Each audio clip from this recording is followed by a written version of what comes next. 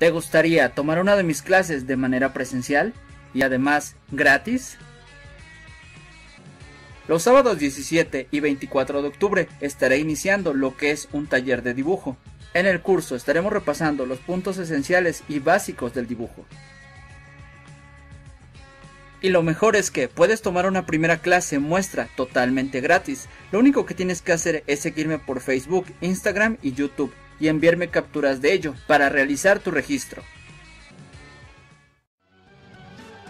El arte, señores y señoras, suele ser hijo de su época. Esto significa que por lo general suele reflejar, representar los sucesos más importantes que está viviendo la sociedad en su momento.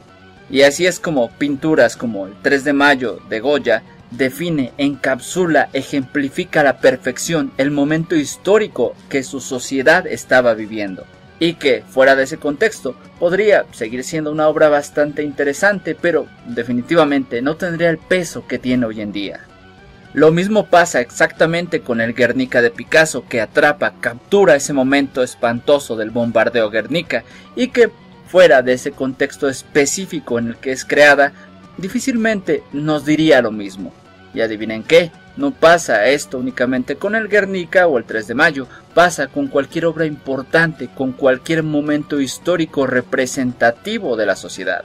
Y si a eso le sumamos que determinada crisis social en la que estamos viviendo actualmente no solo se ha dado en una latitud muy específica, como estos ejemplos, curiosamente ambos de España, tenemos que situaciones como el COVID han sido representadas, han marcado un antes y un después en algunos aspectos del arte a nivel mundial, pero, y avanzando un poco más adelante, adivinen qué, también la nueva normalidad va a marcar un antes y un después en el arte.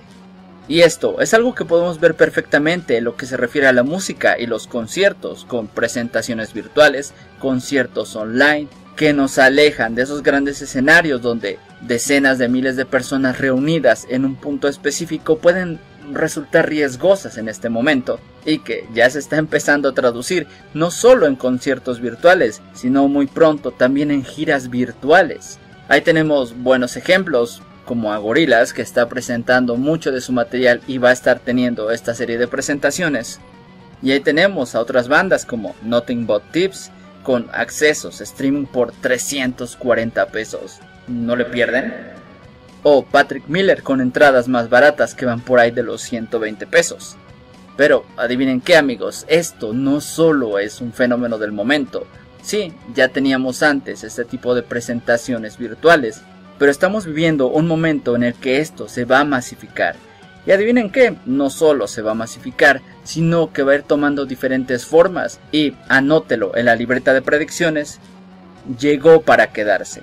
De hecho, yo creo que en un futuro cercano no solo esto va a continuar, sino que esta modalidad se va a ir adaptando, se va a ir enriqueciendo y vamos a tener a bandas que únicamente se presenten de esta manera por X o Y razón, ofreciendo más que conciertos, espectáculos multimedia. Así que sí, la música y los conciertos son una de las primeras manifestaciones artísticas que van a sentir ese cambio de manera muy fuerte, muy intensa, pero definitivamente no es el único medio que lo va a resentir. Ya que por otro lado podemos irnos al caso del cine. Estos recientemente abiertos, presentando descuentos y promociones y aún así manteniendo salas bastante vacías, pero que empiezan a entrar a una modalidad bastante interesante, como lo es salas privadas. En cadenas como Cinemex, donde puedes reservar precisamente una sala para una función privada con grupos que van desde los 5 a las 20 personas, y que definitivamente van a cambiar la forma de interactuar con el cine, presentando una modalidad que definitivamente, y como pasa con la cuestión de la música, más de uno va a aprovechar no solo para este momento, sino para continuar con esta modalidad, porque vamos a tener por un lado las grandes salas donde tengamos los estrenos más importantes, pero y nuevamente para el cuaderno de las predicciones, definitivamente vamos a tener complejos específicamente dedicados para esta cuestión, salas pequeñas, lugares íntimos donde no solo vas a poder ir a apreciar la película del momento, el nuevo estreno de Hollywood, sino que seguramente podrás escoger entre un catálogo mucho más amplio para ver determinadas películas que en otro contexto tú no podrías ver en el cine. Y que esta nueva normalidad definitivamente es quien vino a abrir esta posibilidad. Por lo que el cine, después de este cambio radical que estamos viviendo como sociedad, definitivamente no va a volver a ser el mismo.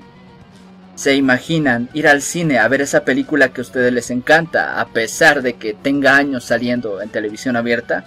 Y hacerlo solo con tu grupo de amigos, reservado un espacio enorme con una pantalla increíble para 20, 30 de tus amigos. Eso es algo increíble y adivinen qué, estoy seguro que después de esta pandemia es una modalidad que muchos cines van a adoptar. E ineludiblemente esto nos lleva también a la pregunta por la plástica. ¿Qué va a pasar en este medio a partir de ahora? Pues bien, para hablar un poco de ello, usemos de ejemplo la nueva exposición de Modigliani, el París de Modigliani y sus contemporáneos, presentada en el Palacio de Bellas Artes aquí en la Ciudad de México. Esta exposición es importante por un par de aspectos. La más obvia es que esta es la primera exposición importante que se ha inaugurado a partir de esta nueva normalidad aquí en México. La segunda, y que para muchos debería ser la primera, es que bueno, es la primera vez que viene obra tan importante de Modigliani aquí a México, porque por alguna extraña razón, aunque este sea un artista muy conocido, bueno, nunca ha brillado demasiado en el país.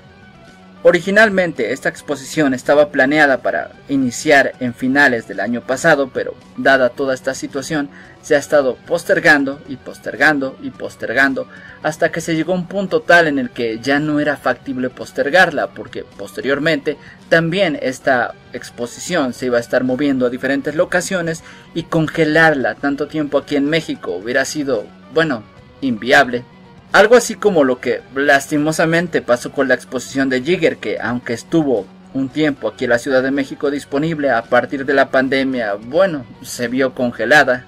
Y por desgracia no hemos sabido más al respecto. Ahora bien, ¿qué nuevas medidas han surgido a partir de esta nueva normalidad que afecten directamente a esta exposición o bueno, en general a la plástica y que vayan a marcar un antes y un después? La obra de Modigliani va a poder ser apreciada desde grupos muy reducidos, con una distancia considerable entre espectador y espectador. Desde luego, uso obligatorio de cubrebocas, sin poder tocar las obras ni el espacio donde éstas se presenten, y la movilidad dentro del mismo espacio va a ser unidireccional, es decir, empezamos en un punto A y llegamos a un punto B. Ok, alguien notó que básicamente son las mismas reglas de siempre, pero con cubrebocas. Y esa es la cuestión amigos, que precisamente en muchas de estas exposiciones, en estas manifestaciones culturales de gran envergadura, no va a haber un cambio tan significativo. ¿Por qué? Porque muchas de esas medidas de precaución que ya se tomaban, en este caso para conservar la obra, van a continuar simplemente para conservar la obra y conservar la salud. Entonces cabría preguntar, ¿va a haber realmente alguna diferencia significativa en cuanto a la plástica antes del COVID y después del COVID? Y la respuesta es sí, pero no necesariamente en el mismo terreno. Como quizás algunos recordarán en unos videos previos, estuvimos hablando de cómo el COVID mismo se había vuelto un tema para el arte. Cómo había inspirado incluso un museo virtual que aún hoy en día se sigue actualizando con más obras referente al tema y como rescatábamos al inicio de este video, no tenemos realmente razones para dudar que vaya a pasar lo mismo con esta nueva normalidad, volviéndose ella misma un tema para las obras artísticas. Porque, querramos o no, esta situación ha marcado un antes y un después en nuestra vida a nivel social, y eso definitivamente es algo que se va a reflejar en el arte. Así que por un lado, definitivamente vamos a acabar teniendo toda una corriente artística con base no solo al COVID y a esta nueva normalidad, sino precisamente a toda la cuestión de enfermedades, de pandemias, de situaciones sociales, de aislamiento y recogimiento personal. Y eso es algo que ya empezamos a sentir con un montón de obras que podemos encontrar en Internet con estos temas como epicentro. Pero, ¿qué hay de ti o de mí que simplemente queremos presentar un cuadro, un dibujo que realizamos ¿qué hay de nosotros que queremos abrirnos camino por este complicado mundo del arte? ¿Podemos adaptarnos a estos cambios? ¿O aún mejor, podemos aprovecharlos? Pues vayan por papel y lápiz o tomen nota desde su teléfono porque les voy a dar un consejo que les puede ayudar mucho a aprovechar esta nueva modalidad que la cultura está tomando. Ok, ya, ¿listos? Exposiciones virtuales. ¿Tienen algún material o les gustaría darse a conocer o incluso vender su obra? Esta es una excelente opción. Siguiendo el mismo esquema de las grandes empresas, gobiernos o museos, ustedes pueden montar una pequeña exposición desde su casa. Coloquen y acomoden bonitos sus cuadros, grábelos y grábense a ustedes explicando su material y súbanlo a redes. Lo mismo puede aplicar si eres músico, prepara un set pequeño con tu material y grábate con tu grupo. Luego súbelo y compártelo todo lo que puedas y listo. Esta es una excelente forma de empezar y te permite aprovechar la situación actual sin necesidad de consumir demasiados recursos. Y básicamente lo único que necesitas es tu obra, una pared, perderle un poco de miedo a salir a cámara o hablar y paciencia para la edición. Y listo, sin grandes gastos y aprovechando de la mejor manera el contexto actual para presentar tu obra. Porque precisamente es ahí, en la forma en que se distribuye el arte, donde se va a dar el cambio más significativo en cuanto a la plástica. Y no solo para los grandes museos, sino también para nosotros. Así que mientras van armando sus exposiciones virtuales o sus conciertos en línea, nosotros nos estamos viendo en un próximo video. Y no olviden que todavía tenemos un fin de semana más para las clases muestra de los talleres que estaré impartiendo. Como siempre, la información se encuentra en la descripción del video. ¿Te gustaría tomar una de mis clases de manera presencial y además gratis? Los domingos 18 y 25 de octubre estaremos iniciando un taller de dibujo enfocado al retrato. ¿Qué quiere decir esto? Que, aunque nuestro curso esté enfocado en particular al retrato, también vamos a estar repasando las bases del dibujo para complementar nuestro aprendizaje. Y lo mejor es que puedes tomar una primera clase muestra totalmente gratis. Lo único que tienes que hacer es seguirme por Facebook, Instagram y YouTube y enviarme capturas de ello para realizar tu registro.